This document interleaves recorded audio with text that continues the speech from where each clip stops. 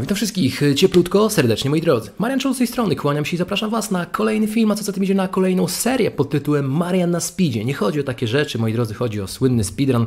Wielu szachowych twórców to się bawi. Ja postanowiłem również, zaczniemy sobie od poziomu bardzo e, początkującego, rankingi tam, nie wiem, 200, 300, 400 i spróbujemy grać rapidy 10 plus 0, zobaczymy jakie błędy robią rywale. Mamy bierki koloru czarnego, o, E3. Nie wiem jak z, z tutaj e, wiedzą debiutową u tych graczy, może być różnie. To tak takie skromne posunięcie E3. Oczywiście jest to ruch, o w tym momencie mamy takie rogi diabła tutaj. No dobra, ja zajmę centrum, prawdę mówiąc nie wiem jak na to grać. Hetman C7, C2 przepraszam, tutaj wchodzi na długo przekątną, to miejmy na uwadze. No póki co rozwijam się w sposób dosyć logiczny. Wydawałoby się, mogę tego gońca zamknąć, tak naprawdę nie muszę, mogę wyprowadzać figury do gry. To oczywiście zawsze może się pojawić, na przykład jakieś widełki, jeżeli skoczek na F3 by się pojawił, to jest możliwość. Dziwnie to stanęło, no taka tutaj moi drodzy drodzy, maczuga Herkulesa, ale póki co no wszystko tu się broni, nic tu nie będzie wisiało, zawsze mogę też gońca, moi drodzy, zamknąć, odebrać yy, komfortowe miejsce dla skoczka. No i właśnie o tych widełkach mówię, no wywróżyłem, można powiedzieć. Yy, prawdopodobnie trzeba to capnąć. Figura jest figura, proszę pana, figura jest figura i teraz tak naprawdę wyganiamy skoczka. Co ja mam jeszcze? Czy ja mam coś lepszego? No wygonię skoczka i dziękuję. He w porządku. Skoczek odchodzi, może wybić na F7, ale nie widzę kontynuacji. Tutaj oczywiście z szachem nic nie leci, trzeba grzecznie odejść i gra się bez figurki, moi drodzy. O, F7, dobra, fajna próba, odważna, ale no niestety tutaj kontynuacji jakby nie widzę. Nie widzę, no bo tu może przyjść, tu może przyjść. E, podeprzemy tego pionka już na, Mm, no proszę pana, no przecież to jest podwałęcja. No, kolejna figura zostaje podwalona. Jeszcze to mogłem uznać jako poświęcenie, to tutaj to już po, po, po, po, po podwałka. E, no dobrze, proszę Państwa. Co tutaj grać? No król stoi jak stoi, nic tu nie wisi, wszystko jest pozabezpieczane. Nie wiem, wyprowadzamy figury do gry, prawdę mówię, co tu się modlić. Figury do gry mamy dwa skoczki więcej, to jest dużo. Mm, dwa skoczki więcej? A czasami nie jest tak, że ja mam trzy figury? Dwa skoczki i gońca więcej. Nie, no to to już jest przesada, proszę pana. To już jest przesada. Mm, no dobrze, wieża wchodzi na półotwartą, to zawsze dobra opcja, a króla poprawimy i roszada będzie wykonana manualnie, ręcznie. Otwieranie pozycji z królem w środku to jest głupota, absolutna, moi drodzy. Tutaj możemy zagrać, możemy zabić z szachem ten szach będzie bardzo problematyczny. Mm, brak roszady, otwieranie pozycji. Otwieramy pozycję wtedy, kiedy król jest zabezpieczony. No właśnie. Tu już nie ma co zbierać. To jest właśnie pierwsza partia, więc spodziewajcie się wielu błędów ze strony rywala. My te błędy po, postaramy, my, jako ja i ja karać. Zobaczymy. No, póki co będzie pewnie łatwiej niż e, zakładam, ale nie ma co e, rywali mm, jakby tutaj lekceważyć, bo nie można przeciwnika nigdy, nigdy lekceważyć. Dużo materiału poleciało, e, podstawki podstawki. Na początku wiem, sam podstawiam, grając na 3 minuty na minutę, sam przeoczę jakąś taktykę, czegoś nie zauważę, ale wiadomo, jeżeli chcecie grać lepiej, to grajcie dłuższe tempa i upewniajcie się, czy dana figura nie wisi, czy nic nie tracicie. Zawsze po ruchu przeciwnika upewnicie się, czy nic wam nie grozi, czy nie ma szacha i tak dalej, chociaż tutaj szach akurat jest zaznaczany na kolor czerwony, nie pozwoli wam innego posunięcia wykonać. E, w partii na żywo już niestety inaczej. E, mam nadzieję, że rywal nie będzie teraz leżał, e, popijał jakiegoś tam, nie wiem, co on tam będzie popijał jakiegoś marokańskiego drinka, tylko po prostu dokończy tę partię. Więc podstawki, główna, e, główna, główny element, główna choroba taka, przede wszystkim jest to choroba, można powiedzieć, początkujący gracze, sam się z tym borykałem, dzisiaj rzadziej, ale jednak nie podstawiać, pierwsza zasada, tak, no tutaj jak widzieliście w podstawki, aha, podstawki szły ze strony przeciwnika. Tutaj już dziwnie zagrał, moi drodzy, znaczy dziwnie, tego mógł nie zauważyć, bo tutaj widły wchodziły i tak naprawdę E4, widły pionowe, no dobra. Yy, tu oddał dwie figury, bo oddał tu i tu. Można było tym skoczkiem po prostu, nie wiem, myślę, że odejść. Być może, być może to była jakaś opcja. Teraz można było odejść skoczkiem, również. E, tu bicie na F7 w ogóle nieuzasadnione. No i tutaj mamy, moi drodzy, kolejny ruch tą samą figurą w debiucie, a co za tym idzie jeszcze podejście pod pionka, więc no nie jest to coś, co byśmy chcieli na pewno. E, wieża wchodzi do gry, tutaj wiadomo, otwieranie pozycji z królem w centrum to nie są rzeczy, które powinniśmy robić. To nie jest coś, do czego powinniśmy dążyć. Dobra. Y, tu jakby nie ma co analizować. Y, przyjrzyjmy się od razu, moi drodzy, kolejnej partii. Spróbujemy na dwa, y, na dwa razy to wszystko. No rankingi będą powolutku rosły. Teraz ja mam bierki koloru białego, więc spróbujemy cztery. Po dwie partie spróbujemy na początku na, na odcinek, później pewnie jedna. Mam obronę skandynawską i teraz tak, szybki hetman, czy okaże się martwy hetman? Zobaczymy, czy będzie wiedział, co z tym hetmanem zrobić. To są popularne odejścia. Często wrzuca się szacha, który tak naprawdę nie jest jakiś tam bombowy. Można się zasłonić na e, różne sposoby. No hetman wisi, teraz trzeba zagrać niestety hetmanem. Wrócił, dobrze. Tak się grywa. To nie jest żaden błąd, żeby było jasne, tak? Wybił, wybił i, i wrócił. Wybił, wybił i wrócił. I teraz trzeba zacząć rozwijać figury, chociaż to jest taki um, mało rozwojowy ruch. A5 się grywa albo D6 częściej. E, my staramy się kontrolować centralne pola, wyprowadzać figury do gry, no i co, zroszować prawdopodobnie. Często w, w obronie skandynawskiej ruszują na hetmańskim, ze względu na to, że hetman już opuścił pole dotychczasowe D8. No dobrze, tego pionka pchamy często przy, dopiero po rozwinięciu gońca, ale no, nie jest to jakiś tam błąd oczywiście. E, wyprowadzi może gońca, może skoczka, może zroszuje. To są możliwości jak najbardziej, jakie zobaczymy, jak tutaj z wiedzą debiutową. Jeżeli nie znacie debiutów, a wiem, że masa was, z Was nie zna, nie musicie znać debiutów. O C5 ciekawy ruch, jak najbardziej, bo jak pobije, to on deroszuje i dopiero później odbija pionka. Ale nic z tym fantem robić nie muszę, mogę zagrać tak. Mm, I tak na dobrą sprawę Wrzucić szacha też można. Po pchnięciu pionka z C szach jest nie najgorszy wtedy, kiedy nie może być osłoniony, y, przesłonięty pionkiem. Dobra, podwiążemy. Ta figura tak naprawdę pozornie tylko broni pola D4. Y, no i w tym konkretnym momencie, moi drodzy, cóż, ja mogę począć. No to będzie odbite, na wszelakie sposoby może być odbite. Chyba zroszuję, zagram hetmanem, być może tutaj przyjdę wieżą na D, to jest linia, która być może się otworzy. E, nie wolno zapominać, moi drodzy, o związaniu. Nie wolno zapominać o tym, że król lubi czuć się komfortowo, lubi czuć się bezpiecznie. Roszada, czy jest opcją? Jakąś na pewno. Może nawet długa roszada, od razu wie, że jest w grze. Właśnie długa roszada ma tą funkcję y, fajną. Mm, Okej, okay, słusznie zagrał. Nacisnął na figurę, która może być niewygodna dla niego. Mógłbym bić, zdero, znaczy zderoszować, zderoszować mu pionki, chciałem powiedzieć. Wybić, wybić, zostawię go ze słabizną. Bo jeśli ja tu, to on tu, ja tu i tu, no prawdopodobnie muszę to wziąć, bo mm, no, narzuca się bicie po prostu, tak? I teraz tak, bić nie chcemy, bo cały czas to, chociaż na dobrą sprawę yy, odbiję wieżą, więc wygrywam materiał. Ale nie, ja będę chciał pograć tutaj ambitniej. Ja będę chciał pograć ambitniej i ja sobie zroszuję tutaj. Ja nie będę roszował na hetmańskim, tak jak miałem to w planie wcześniej, bo otworzyła się linia B. Nie chcę tutaj dostawać takich strzałów. Więc wieża B8 jest uzasadnionym ruchem jak najbardziej. E, ja ogólnie chcę przyjść wieżą na D. Może jedną, może drugą. Nie zapominajmy o rozwoju lekkich figur. To jest bardzo ważny element, moi drodzy, w debiucie, żeby lekkie figury grały. Król był zroszowany zazwyczaj.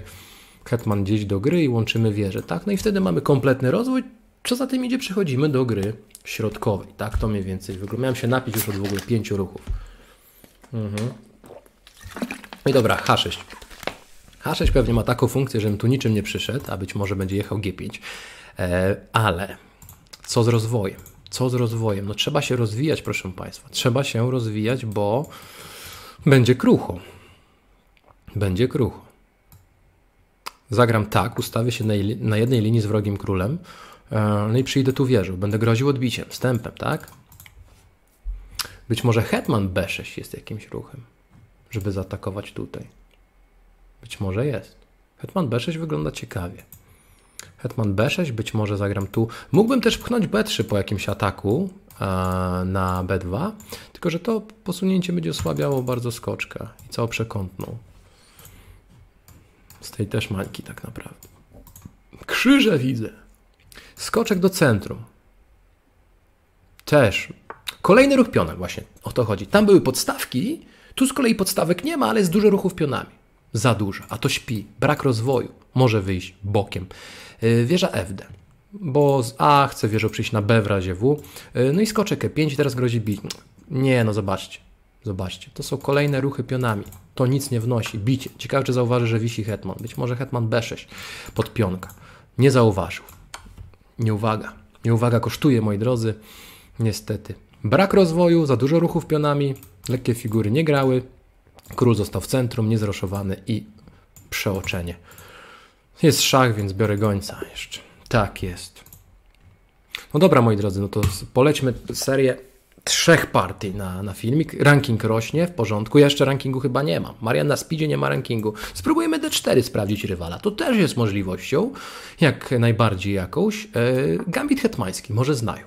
Może znają, być może znają, być może nie. E, nie będziemy analizować tamtej partii, bo e, jakby nie było do końca czego. Być może po prostu miałem jakąś lepszą okazję, znaczy mogłem to szybciej ugrać. Mm, ale błędy mniej więcej przeciwnika narzucały się, każdy z Was pewnie to dostrzegł. Ta seria jest dedykowana głównie dla mm, stricte początkujących graczy.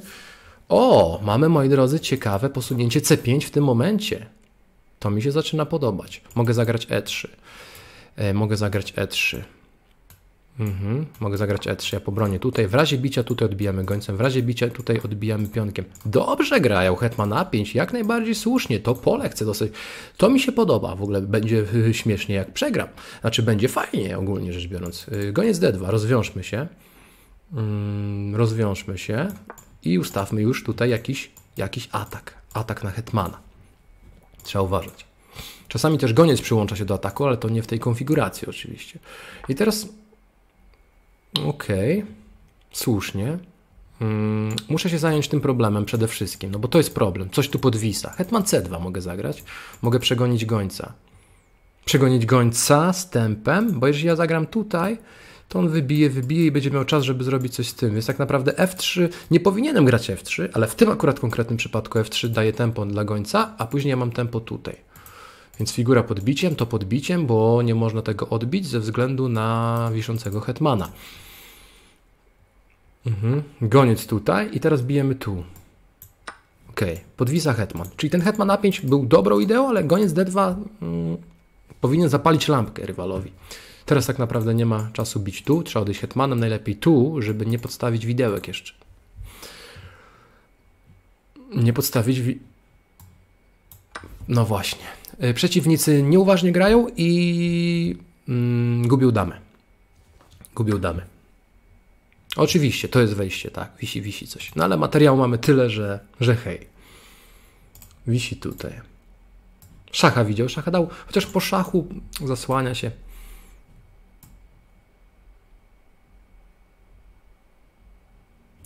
No problem jest też tutaj tak naprawdę, więc szach i fajnie by było jakby odszedł gońcem. Wtedy tak naprawdę to pole mogę jakoś bronić tym ruchem. Wrzucę szacha. Wrzucę szacha, jeśli się zasłoni lub odejdzie, nie odejść nie może niestety, więc musi się zasłonić. Gońcem się zasłoni, to ja gram tutaj i będę to pole trzymał i atakował skoczkę. No bo to był ciekawy ruch, ok. Cały czas wisi tu. Zgodzę się. Mm -hmm. Co z tym fandem zrobić? Podwisa szach. I wieża, tak? Mm -hmm. Podwisa, podwisa szach. Tu nie mam zagrania. Mam królem tutaj wejście tak naprawdę. To jest chyba jakiś ruch, jakby nie było. Chociaż po tym on ma to. A może, mówiąc brzydko, olać tego szacha i zagrać tak, nacisnąć na związaną figurę i ją po prostu wygrać. To chyba jest kontratak. Chyba mm, maksyma, najlepsza obrona jest atak, będzie tutaj słuszna. Tu szach, ja gdzieś odejdę. On jeżeli pokusi się o wieżę, no to wtedy traci tutaj. I tak materiału mam dużo, więc Mm, no tak, pcham tutaj D5. Pewnie będzie zadowolony, że widełki wrzucił i to fajnie, spoko. Tylko problem jest ze związaną figurką. Mhm. Tak, związana figura odejść nie może, jest atakowana. Wrócił, no jasne. Tylko, że teraz już jest za późno. Mhm. I gram to. I teraz już nic nie powinno tu podwisać. To broni się, tu się atakuje. Tu się, tu się. Yy, oczywiście mógł iść te widełki. Ja bym odszedł królem, ale to było do bicia. Może i skoczek C2 był słuszną e, kontynuacją? Być może tak. Tu przynajmniej rywal widzi, że coś jest podbiciem. To szacun dla niego. I chce się przestawić pewnie tutaj. Mhm. Nie chcę tego skoczka. Ha. No, może się przestawić tutaj z jakimś tempem. Może, to jest prawda. Król był nieruszany, prawda? Więc mógłbym zrobić ewentualnie długą rolkę. Y, on skoczek tutaj. I ja prawdopodobnie tutaj. Ale wtedy przyjdzie wieżą? Nie, wieży nie ma, ale może mnie kopnąć i przyjdzie wieżą. Dobra, zagram w ten sposób, żeby to pole kontrolować. Jeżeli zagra tutaj, to ja podejdę do skoczka, zaatakuję go. Długa roszada, podoba mi się. Podoba mi się to. Długa roszada. E, wymieńmy się czym prędzej. Ja tu, on tu, ja tu. Wymieńmy się czym prędzej. E, walczymy o linię D, no, otwarta linia na szachownicy, więc chcemy tam mieć swoje ciężkie figury proste, ale tu jakby rywal no, przestaje podstawiać, yy, znaczy no, coś tam podstawił oczywiście, ale nie podstawka za podstawką, coś kombinuje. W długą roszadę poszedł, wieżę włączył do gry, ma dwa gońce. Nie w porządku. Oczywiście F3 było takie zabierające miejsce dla skoczka. Yy, chyba weźmiemy to z szachem. Król musi bić. I teraz Szach nic nam nie da. Chociaż szach może nam coś dać ze względem tego, względem tego, że tu wisi skoczek, więc chyba to jest uzasadnione.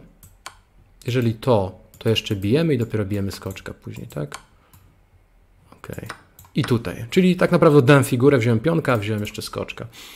Mm, no I teraz trzeba się dorozwijać, tak? No bo nie wygląda to na kompletny rozwój, powiedzmy sobie szczerze. Materiału mam więcej, ale to, to tyle. Szach. Hmm. Zagramy tutaj. Albo tak i tak. Gońcem chcę przyjść tu, królem na F2. Ok, to naciska, ale tu się broni, więc spoko, Maroko. Król F2. Szacha, znaczy na szacha, na związania mnie chyba nie złapie. Bicie, bicie. No i przychodzę wieżą, dobra. Gdyby nie materiał wygrany wcześniej w dużej mierze, to prawdopodobnie dużo gry by było jeszcze. Ok, check. Widzę szacha, szacha daje. Czasami szach jest niepotrzebny, a czasami warto go dać. Jakieś saknięcie może tutaj na E6, wiadomo, mając tyle materiału więcej, to można, można wiele. Poprawiamy figurę, która źle stoi. Mm, teraz bicie, bicie, szach. Bicie, bicie, szach. Po biciu to, to może tu, ale nie mam szacha. Bicie, bicie, szach.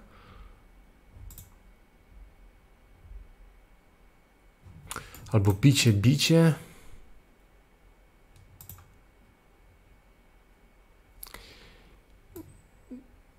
Jakby... Zatańczmy z nim. Zatańczmy z nim. Jest szach, nie ma czasu przyjść tutaj. Jeśli bicie, to prawdopodobnie bijemy, wisi tutaj.